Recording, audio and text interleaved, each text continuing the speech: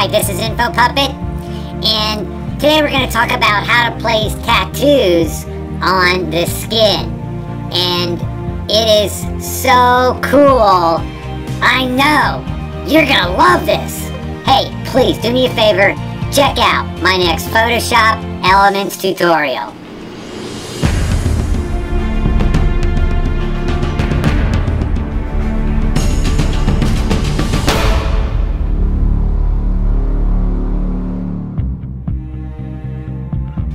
Alright, Photoshop Elements 11 is opened up. Don't worry, Photoshop Elements 10, we're going to show you where your stuff is too. These are the images we'll be working on. Let's go to the toolbar. And we're going to look for the eraser tool. And there it is. And now over here, for Photoshop Elements 10, you'll find it right there. Left click and hold Photoshop Elements 10. 11, it's down here at the bottom. The magic eraser tool is what we want. Now I'm just gonna left click and uh-oh, wardrobe malfunction, wardrobe malfunction. We lost the left side of the bikini. I'm just gonna turn the tolerance down to about 13 and there you go. Photoshop Elements 10, it's up on the top of your window. I'm just left clicking and releasing. We'll fix this over by the hair. Looks pretty good.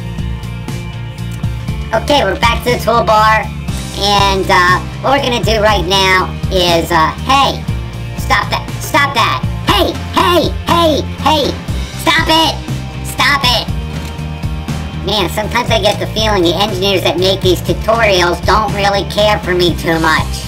Alright, so now what we're gonna do is we're gonna duplicate the layer, layer by right-clicking, and I'm gonna call this layer 1, and select new for document.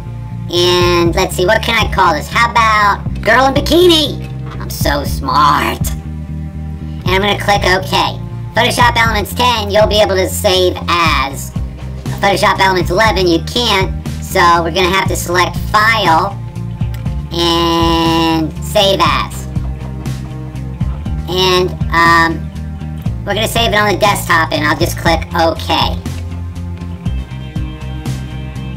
Alright, so what we're going to do right now is we're going to open up this other image and I'm just going to left click, hold, and drag over to my girl. Alright, let's get rid of it now. We don't need it anymore.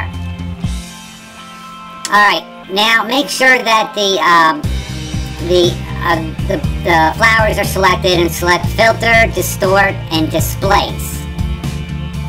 Now I'm going to change the horizontal scale and vertical scale to 7 and make sure stretch to fit and repeat edge pixels is selected, but that's default on both PE10 and 11.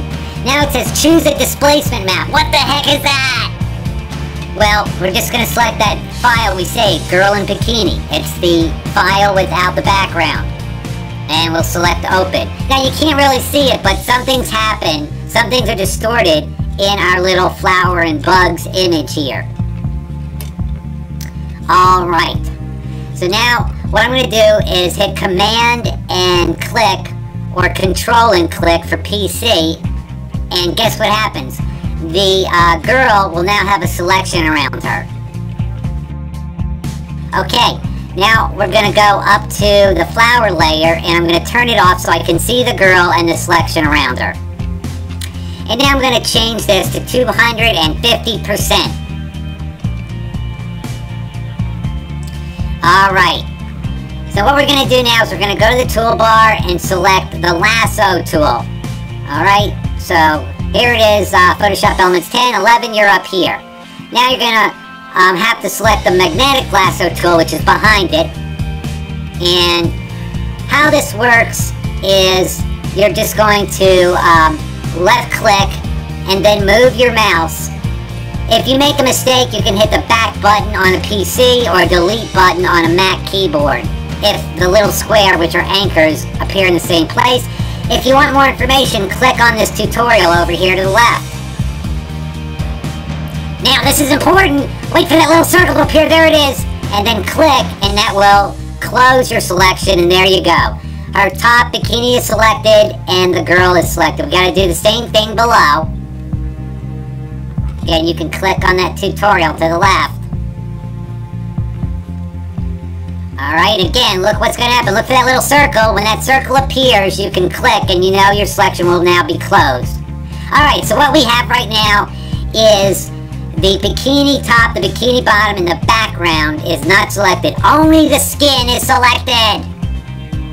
Okay, we're going to go up here to the flower layer and turn it back on. And now we're going to go over to uh, this where it says um, layer mask. We're going to add a layer mask. Photoshop Elements 10. This button is at the bottom. Alright, and now we're going to click on the flower and change it from normal to multiply. Look what happens. But look, look at that. Isn't that so cool? I love it! Okay, now I just turned off the layer of the girl, and I'm gonna grab the eraser tool, the regular eraser tool, and I just want to get rid of the the bug on the top. I don't really like the look of it on her face. So, alright, see? There you go.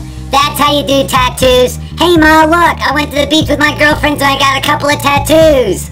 Before, after. Before, after. And before, and after.